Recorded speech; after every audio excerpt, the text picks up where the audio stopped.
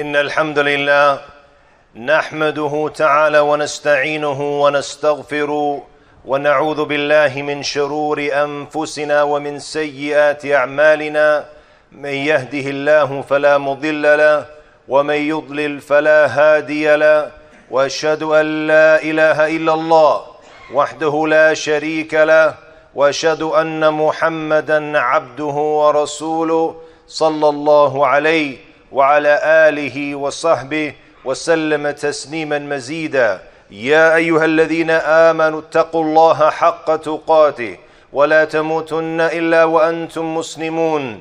يا أيها الناس اتقوا ربكم الذي خلقكم من نفس واحدة وخلق منها زوجها وبث منهما رجالا كثيرا ونساء واتقوا الله الذي تساءلون به والأرحام ان الله كان عليكم رقيبا. يا ايها الذين امنوا اتقوا الله وقولوا قولا سديدا. يصلح لكم اعمالكم ويغفر لكم ذنوبكم. ومن يطيع الله ورسوله فقد فاز فوزا عظيما. اما بعد فان اصدق الحديث كتاب الله. وخير الهدي هدي محمد صلى الله عليه وسلم. وشر الامور محدثاتها وكل محدثه بدعه وكل بدعه ضلاله وكل ضلاله في النار My dear brothers and sisters in Islam, if we wanted to ask ourselves, what is true success? True success, Yawm al Qiyamah, on the day of judgment when we stand in front of Allah subhanahu wa ta'ala. And how can we be successful on that great day? Alhamdulillah, Allah subhanahu wa ta'ala made it clear to us in the Quran, in Surah Al Mu'minun, قد أفلح المؤمنون that the believers have verily they've been successful. And then Allah subhanahu wa ta'ala started to list the different traits or characteristics of these mu'minun, the believers. And the first of those, الَّذِينَ هُمْ فِي, صلاتي في صلاتهم خاشعون, the ones who have the khushu', the tranquility, the humbleness in the prayers. And then, as the list of these characteristics continues in the verses which come, the last of them, Allah says, the last characteristic, وَالَّذِينَ هُمْ عَلَى صَلَوَاتِهِمْ يُحَافِظُونَ And those who are carefully minding their prayers. So note in the description of the believers who will be successful in this life and in the next, it starts off with the salah and it finishes with the salah. The first of the characteristics are the ones who are khashi'un, the ones who find that peace, that tranquility, that humbleness, that concentration in their prayers. And the last of the characteristics is yuhafidun, that they carefully mind and pay attention to establishing their prayers. And this shows us obviously the importance and the status of the prayers. But also from the things that we benefit from this, the fact that it starts with the salat and finishes with the salat, is that if we're going to achieve and to obtain the other characteristics which come in the middle, also the salat is what's going to assist us in establishing these other characteristics as well, inshallah ta'ala. And today, we want to remind ourselves of how we can be from the khashi'un in the prayer and how we can be from alladhina yuhafidun from the ones who who close guard and carefully mind their prayer when it comes to the issue of establishing the prayer and close guarding the prayer and carefully minding our prayer the first thing that helps us in achieving that is to realize the status of the prayer in Islam. And the prayer, as the Prophet ﷺ described it, it's umud ad-din. It's the backbone of the religion. The main pillar of the religion after the pillar of La ilaha illallah Muhammadur Rasulullah. And what happens, if you look at this hadith, the amud or the backbone. What happens to the human being if you take the backbone away from him? You take out his spinal cord. What's going to happen to the human being? He's going to collapse. Khalas, he can't live any longer. And the same thing, the same status is the prayer. If you take the prayer away from us, then we have no deen. And that's why Umar ibn Khattab radiallahu anh, he said, لا حظ في الإسلام لمن ترك الصلاة. There's no portion of Islam to the person who leaves the prayer. And the prayer has what I like to call the domino effect. What does it mean, the domino effect? Pay attention to this hadith. The hadith of Rasulullah sallallahu alayhi wasallam when he said, أول ما يحاسب عليه العبد يوم القيامة من عمله الصلاة the first thing that we will be questioned about on the day of judgment from our deeds is this prayer, the salat. And that in itself is enough for us to close guard and pay attention to our prayer and to be very mindful of our prayer. The fact that the first thing from our deeds that we will be questioned about Yom Al Qiyamah is the salat. That's serious. But then comes the domino effect that I was talking about. فإن قبلت the Prophet ﷺ said فإن قبلت قبل سائر عمله that if it's accepted then the rest of his deeds will be accepted and one of the narration فقد أفلح وأنجح that he has been saved and been successful وإذا ردت خاب وخسر and if it's rejected from him then he has failed and has lost this is the status of the prayer Yom Al Qiyamah the domino effect if it's accepted, then he has been successful and he has been saved. But if it's been rejected, it's not accepted, that he has failed and he has lost. So the salat has an effect on all of the other actions that we do as well. It doesn't matter how good you are in your other actions, if your prayer is not correct, then the actions won't be accepted. Also, from the things that helps us be mindful and close guard our prayers when shaitan comes to us and we become lazy. And it happens to all of us sometimes. And to some of us all of the time. But what happens to the person who leaves the prayer, who doesn't pray? The person who doesn't pray leaves Islam. He becomes a non Muslim. And this is serious. In Sahih Muslim, the Prophet ﷺ, he said, بين الرجل وبين الكفر والشرك ترك الصلاة that between an individual and between disbelief and polytheism is leaving the prayer so the person who leaves the prayer is equivalent to the one who has fallen into shirk and kufr أعوذ بالله and the other hadith the Prophet صلى الله عليه وسلم said العهد الذي بيننا وبينهم الصلاة فمن تركها فقد كفر that the covenant which is between us and them, meaning the Muslims and the non Muslims, is the salah. So whoever leaves it has committed an act of kufr, an act of disbelief. This shows you that the prayer is serious. Even some scholars said the person who leaves one prayer, salat wahida, just one prayer, he falls into that category where he leaves the fold of Islam. That's how serious this is. So when shaitan comes to us and we become lazy with the prayer, we remember this that if my prayer is not accepted, then all my other good deeds are not going to be accepted. That if I leave this prayer, I'm going to leave the fold of Islam. That's scary. And subhanAllah, when our desires get the best of us, when it comes to our prayers and being lazy and not close guarding and being mindful of our prayers, remember what Allah subhanahu wa ta'ala said about the ending of those who are negligent, who are negligent in their prayers. Those who are negligent in their prayers, what is the ending that they will have? فخلف من بعدهم خلف أضاعوا الصلاة واتبعوا الشهوات فسوف يلقون غيا That a group came after them who were negligent in their prayers. They were heedless in their prayers. And these people, and they followed their desires. And subhanAllah, as we mentioned this ayah, how many of us, a lot of the times, or all of the times, or sometimes fall into this category? We become heedless and negligent in our prayers, and we prefer to follow our desires. The adhan is called. Allahu Akbar, Allahu Akbar. But watching the game, watching the big match. Allahu Ghafur Rahim. We'll pray Maghrib with Isha. We'll delay Isha. We'll pray later. Huh? SubhanAllah. All because we want to follow the desires. We're sitting in front of the TV, we're on the computer, we're on the phone. I'll pray later. How many of us have fallen into this category?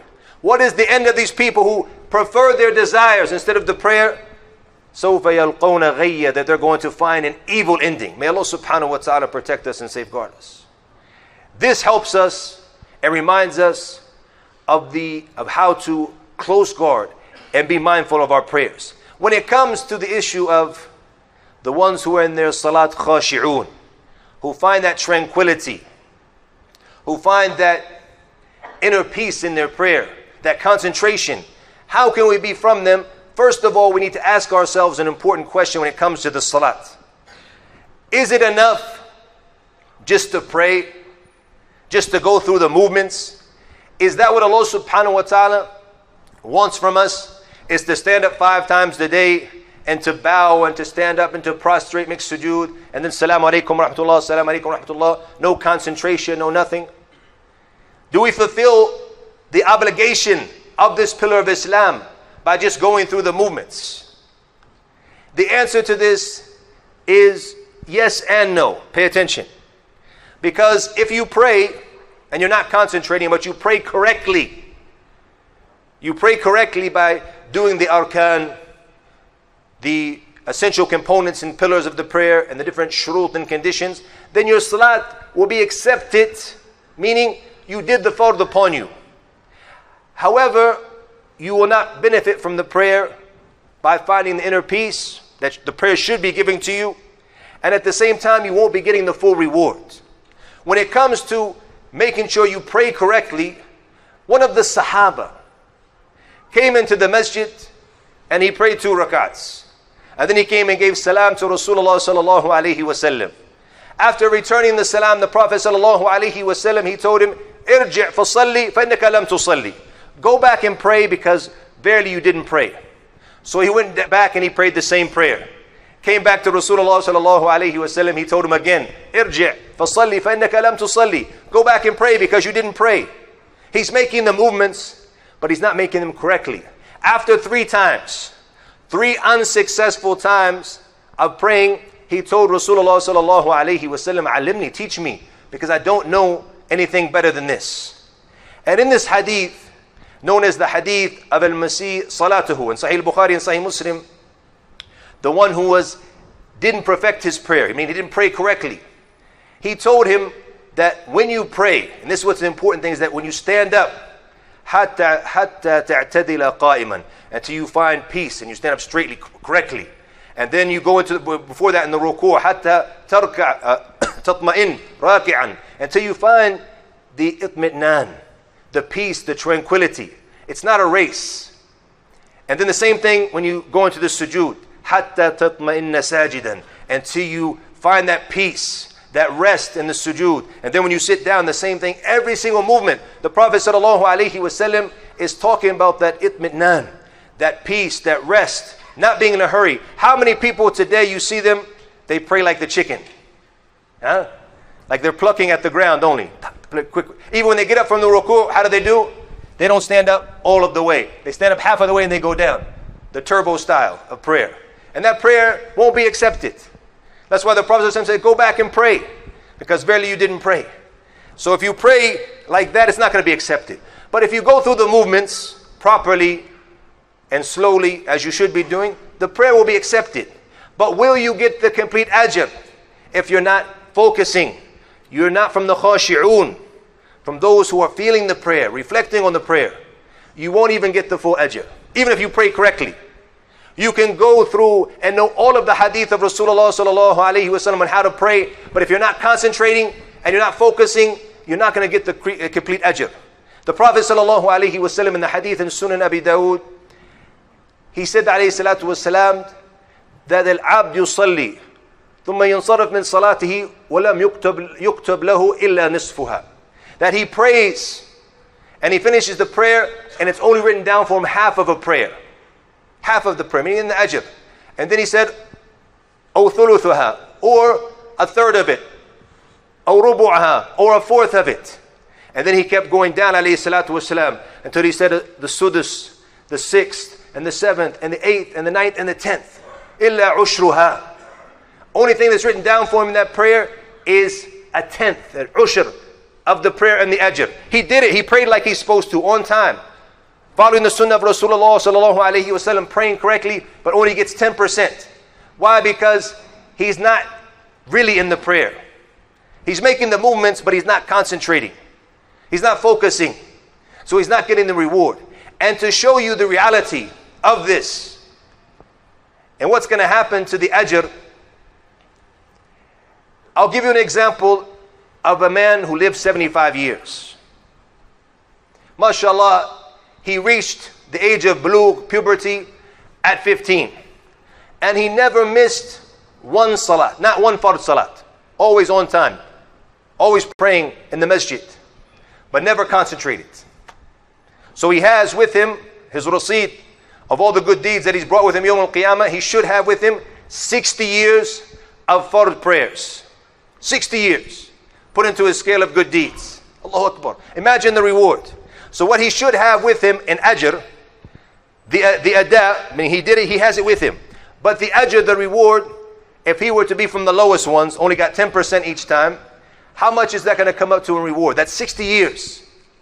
If you're to do the math on the Hijri calendar, the most days you can have in the year is 360. So 360, if you were to multiply it by the five daily prayers, 1,800 prayers per year. Multiply that by 60 years. 108,000 fard prayers that we put into the scale of his good deeds, inshallah ta'ala. But what is the actual reward if he's not concentrating, if he's not focusing? Let's say he got 10%. From that 108,000, it's going to come up to 10.8% in reward only, which is going to be in reward about little over six years of reward. So he'll get 60 years of ada, performing the prayer, that will be given to him. But the actual reward might only be six years, ten years, something small, because he was not concentrating in his prayers. If we really want to benefit from the prayers, it's not just about making the movements and knowing how to pray, but making sure that we enter into the prayer and we find that tranquility. And from the things, because right away people say, How can we do it? It's the question that comes, right? How can we do it? How can we establish it? How can we be from the khashi'un? Many things that we need to do, but some practical tips. First of all, your relationship with Allah subhanahu wa ta'ala outside of the prayer. By knowing Allah subhanahu wa ta'ala, having pure tawheed, worshiping Allah as one, and knowing Allah subhanahu wa ta'ala through His beautiful names and attributes. Once you truly know Allah, you're going to love Allah. And once you love Allah, you're going to establish the taqwa outside of the prayer. And once you establish that taqwa and you have that love for Allah in your heart, you're going to be able to concentrate more in the prayer. You're going to be able to find tranquility and peace in the prayer. And then to understand the movements and the statements that you make in the prayer. Not just to do it, but to understand why we say this word. Why do we say Allahu Akbar so many times in the prayer? What's the wisdom of Allahu Akbar? And once you understand, after you've established that relation with Allah subhanahu wa ta'ala outside of the prayer and then in the prayer, and then you understand the meanings, that's when you're going to really benefit from the prayer. When you say Allahu Akbar and you understand what really Allahu Akbar means, and you understand why you're saying it, and you feel Allahu Akbar when you're saying it. When you make the ruku and you say Subhana Rabbil Al-Azim, who is Allah the Azim? And you understand what it means. When you stand up and you say, Sami Allahu liman hamida, Rabbana wa lakal hamd, and you feel it, that's when you're going to benefit from the prayer. Also, from the tips that help us and benefiting from the prayer is that we make the effort before the prayer to come a little bit early. Subhanallah. Many times we come right at the last minute, the last second after the iqamah has been made. We wait, we wait. And what happens? We get to the prayer because we're all in good shape, mashallah. We're athletic. Huh? We, come, we come to the prayer. We can't concentrate because we're rushing to get to the prayer. Come five minutes early, ten minutes early. Pray the two rakats. the sunnah, make some dua, make some dhikr. You're going to find it's going to have a huge impact on your salat.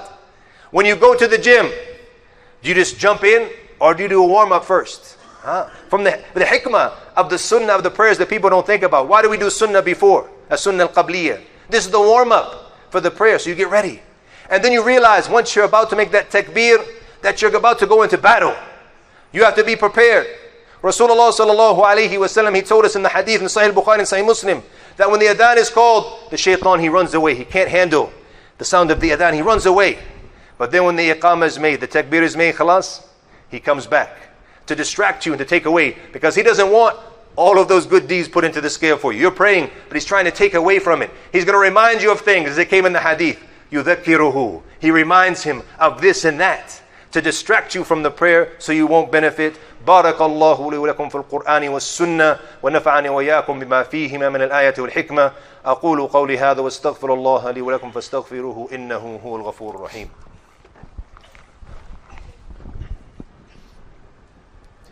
بسم الله وكفى والصلاة والسلام على النبي المصطفى وبعد My dear brothers and sisters, one of the amazing things that helps us find the tranquility and truly benefit from our prayers and be from those that close guard and are mindful of their prayers is to realize not just the things we mentioned in the beginning about the dangers of leaving the prayer, the dangers of being negligent in the prayer, the reward that we're going to be losing.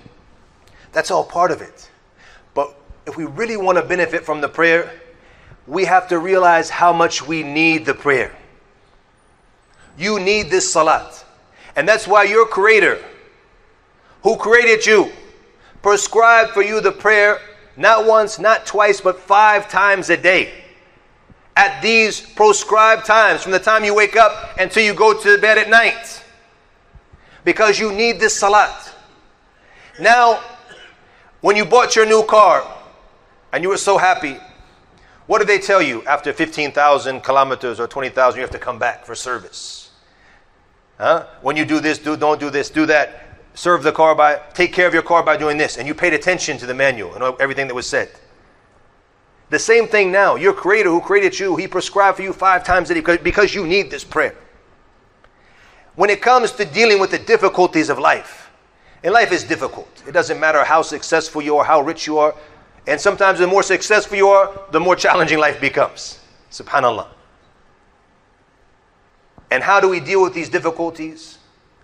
The stress and the problems of life with the prayer. Ya amanu ista'inu bis-sabri was-salah. O you who believe, seek assistance through patience and prayer. The Prophet sallallahu alaihi wasallam, he's the Prophet the best of creations, alayhi salatu wasalam, the best ever to be created, the best man to ever walk the face of this earth. And yet, at the times of difficulty, he would race to the prayer. He would say to Bilal, when it came time for the adhan, Let us find the peace through the prayer, ya Bilal. Let us relax through the prayer. Call the adhan. So we can find that relaxation in the prayer. Subhanallah. We need this prayer. The salat, as the Prophet ﷺ described it, it's the sila bain al-abdi wa rabbi. It's the connection between you and Allah. When you enter into the prayer, you're connecting with Allah subhanahu wa ta'ala. And that's what the Prophet ﷺ prescribed for us in the sujood. In the sujood, he said, أقرب ما يكون العبد من ربه وهو ساجد the closest that the slave will be to his Rabb, to his Lord subhanahu wa ta'ala is when he's in the sujood. And they told us, so make a lot of dua in the sujood. Make a lot of dua. Supplicate. Call on Allah. Call on Allah. This is your sila. This is your connection between you and Allah subhanahu wa ta'ala. You're the one who needs this salat. When you pray, your sins are being forgiven. Remember that. Think about your dhanub.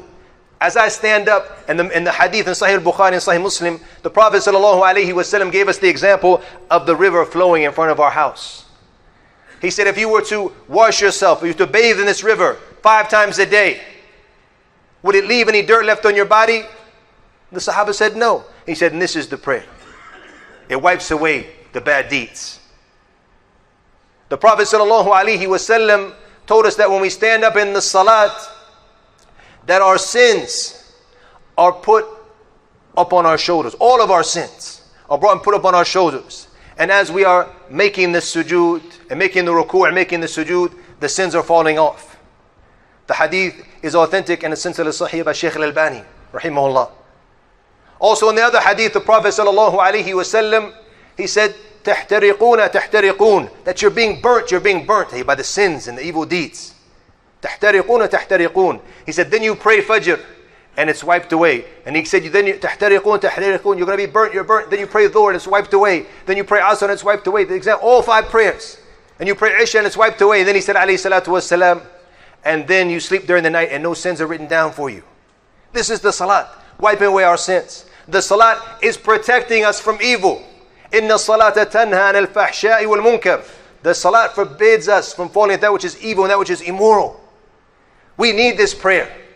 And once we realize not just the status, not just the reward, not just the importance, but the importance of how we need this prayer. When we hear the adhan, and as some of the Salaf used to say, like Sa'id ibn Musayyib, rahimahullah, that the time for any of the faridah, the time for the fard prayer when it would came, when it, when it would come, he said, وَأَنَا إِلَيْهَا مُشْتَاقٌ That he's missing, he's yearning for the prayer. And he finds the, the peace in his heart. He hears the adhan, Allahu Akbar, Alhamdulillah. Waqt salat it came. But for many of us, because we don't realize this reality, and we don't do the things that we mentioned today, we find that it's thaqeel, it's heavy. Oh, you know, already, again, it's time for the salat. Because we don't think about these meanings. We need to constantly hold ourselves to accountable, my dear brothers and sisters, about the salat. Remember in this, these ayat, and I want all of us to go home as a homework assignment. Uh, it's Friday, you thought you were off, huh? You had the day off. Today, inshallah, we're going to do a little bit of homework. Other than Surah Al Kahf, inshallah. We're going to add on to that to read these. It's only it's all on the first page, alhamdulillah, It's not too much on the first page there of Surah Al Mu'minun.